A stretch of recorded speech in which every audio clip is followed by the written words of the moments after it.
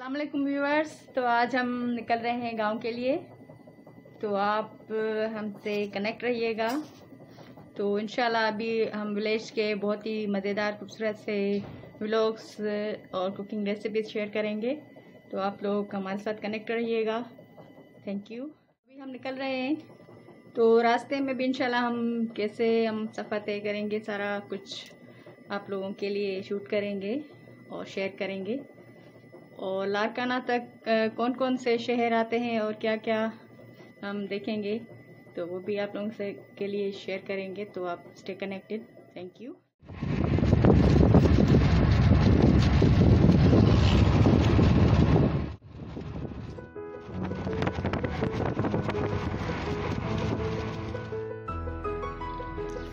तो व्यूवर्स अभी हम निकल चुके हैं घर से तो ये है कासिम चौक, हैदराबाद।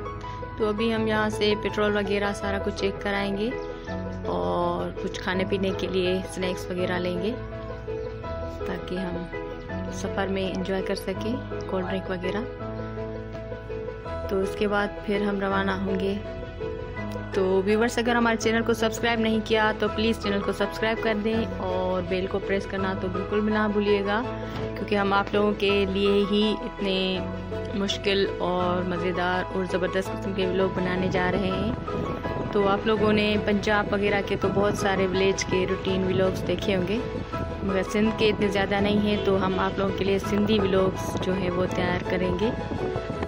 तो सिंधी लाइफ कैसे होती है सिंधी विलेज कैसे होते हैं, वहाँ का रहन सहन खाना पीना और खेत खलियान रास्ते जो भी होता है वो किस्सा होता है तो आप लोग को हमारे ब्लॉग्स में नज़र आएगा।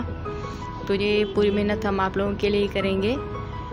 तो इन हम अभी रवाना हो रहे हैं गाँव की तरफ़। तो लारकाना व्लॉग्स ज़रूर आप वॉच कीजिएगा।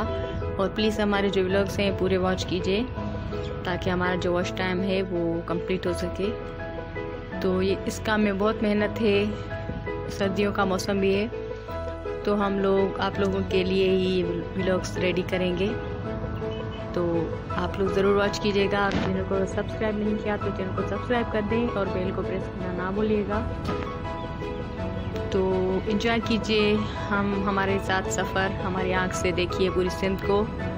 तो हैदराबाद से तक तो बीच बीच में मैं आपको बताऊँगी कि कौन सी जगह है। तो प्लीज़ इन्जॉय कीजिए। तो ये है जामचोरो पुल दरिया की जो सिंधु दरिया की पुल है, यहाँ से हम जा रहे हैं। ये खूबसूरत सा अंग्रेज़ों के ज़माने का पुल बना हुआ है अलमंजर भी इसे कहते हैं। तो यहाँ पर भी हमारा एक व्लॉग बना हुआ है, हमारे चैनल पर मौजूद है, जो हमने तफसीली व्लॉग इस पर बनाया था।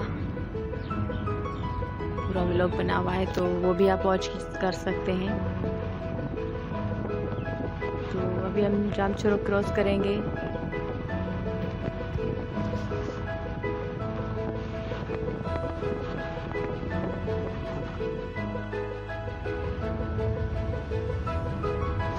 तो माशाल्लाह सिंध के बहुत खूबसूरत मनासर होते हैं रास्ते में जो हम भी खुद ही देखते हुए जाते हैं। इस आ, जो है सफ़र के बहाने हम पूरी सिंध को देख लेते हैं। तो हमें तो बहुत मज़ा आता है। उम्मीद है आप लोगों को मज़ा आएगा।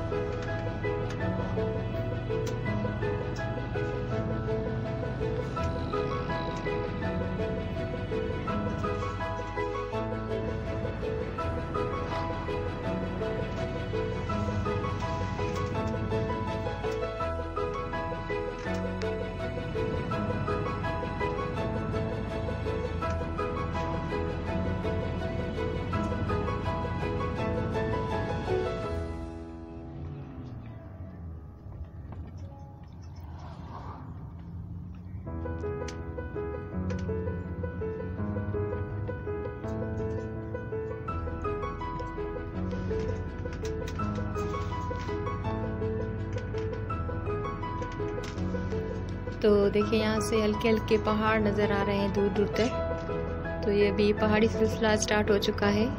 गोरख हिल स्टेशन और ये सेवन के जो पहाड़ी सिलसिले होते हैं, ये यहाँ से नज़र आ रहे हैं। तो ये छोटे छोटे शहर हैं जिनके नाम मुझे इतने अच्छी तरह से आते नहीं हैं। बस कुछ बड़े जो शहर हैं वो मुझे नाम पता है। तो ये छोटे छोटे शहर आते हैं बीच में तो ये देखिए कितने खूबसूरत से पहाड़ हैं और कितने ज़बरदस्त। तो ये टोड़ी फाटक है मेरे ख्याल में, यहाँ पर वो हमने क्रॉस किया है। तो ये पहाड़ मुझे बचपन से बहुत अच्छे लगते हैं। तो ये आप भी देखें। तो सिंध के जो पहाड़ हैं वो कितने अच्छे हैं। तो इस एरिया में आते ही बहुत ठंड थोड़ी सी ज़्यादा हमें लग रही है। तो ठंडा इलाका है ये बहुत ही। और मैंने सुना है कभी कभी यहाँ पर भी जो है स्नोफॉल होती है, बर्फ़बारी होती है यहाँ पर भी, इसके ऊपर, पहाड़ों पर। ये मैंने सुना है। तो ये साथ साथ रेलवे ट्रैक भी हमारे साथ चल रहा है। तो जब जब हम छोटे थे, बच्चे थे, बिल्कुल मुझे थोड़ा थोड़ा याद है तो हमने भी ट्रेन में सफ़र किया हुआ है, हैदराबाद से लारकाना तक का। फिर उसके बाद कोच और ये वैन वगैरह का सिस्टम जब शुरू हुआ तो फिर हमने ट्रेन में जाना छोड़ दिया। क्योंकि ट्रेन में लेट बहुत हो जाता था। मगर मुझे थोड़ा बहुत याद है, जब हम छोटे थे तो अम्मी अबू ट्रेन में आते थे लारकाना से। तो ट्रेन में अभी भी मुझे ट्रेन में सफ़र करने का बहुत शौक है। मगर मुझे डर बहुत लगता है। क्योंकि ट्रेन ऐसी पतली पतली रास्तों से चलता है।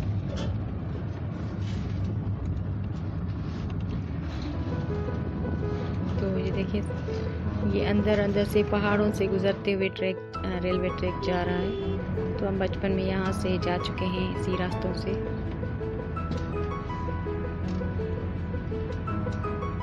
क्योंकि ट्रेन में बहुत टाइम लगता है, इसलिए ट्रेन में अब नहीं जाते कभी भी। तो अपनी गाड़ी में बहुत कम टाइम, साढ़े चार घंटे में या फिर ज़्यादा ज़्यादा पाँच घंटे में हम लारकाना पहुँच जाते हैं, अगर कहीं से रुक रुक के जा भी रहे हों तो। मगर अगर ट्रेन में जाएँगे फिर तो अलाई अफी से बहुत टाइम लगता है। तो ये खूबसूरत पहाड़ी सिलसिले आप देख रहे हैं। सेवन सेवन के पहाड़ी, पहाड़। तो ये बहुत खूबसूरत लगते हैं।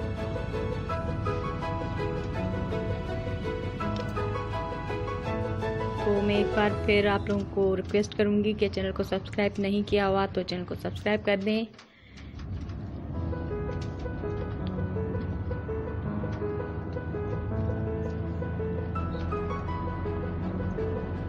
तो उसके बाद इंशाल्लाह हम जब घर पहुँचे तो हमने डिनर कैसा किया और फिर दूसरा दिन, तीसरा, चौथा, पाँचवा, सारे दिन हम हर रोज़ का व्लॉग शेयर करेंगे।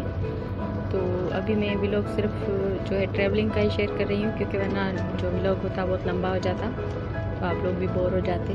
तो सिर्फ़ ट्रैवलिंग का ही आज मैं अपलोड करूँगी। कल फिर इंशाल्लाह जो हमारी रूटीन है, वो शेयर करूँगी। और माशाल्लाह बहुत अच्छे अच्छे प्लान लेकर आए हैं यहाँ पर व्लॉगिंग के हवाले से।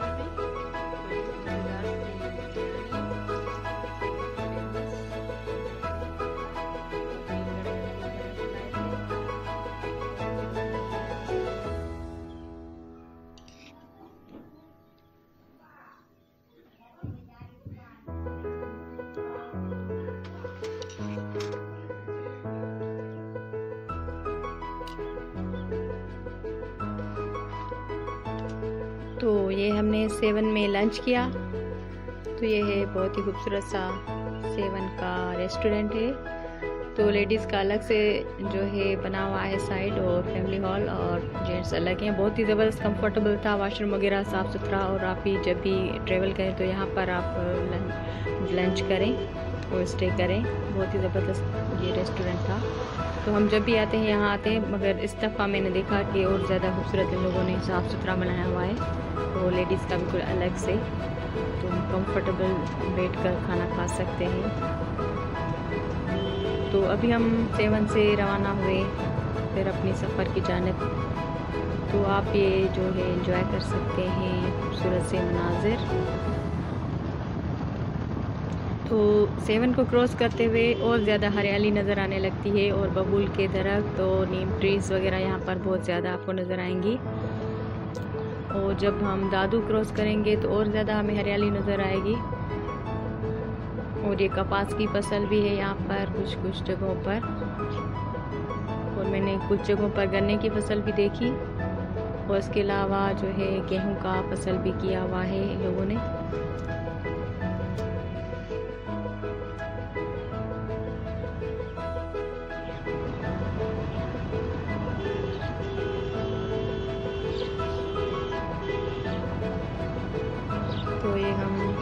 दादू क्रॉस कर चुके हैं शायद। तो ये जो हरियाली है, ये हम मेड़ की तरफ़ जा रहे हैं।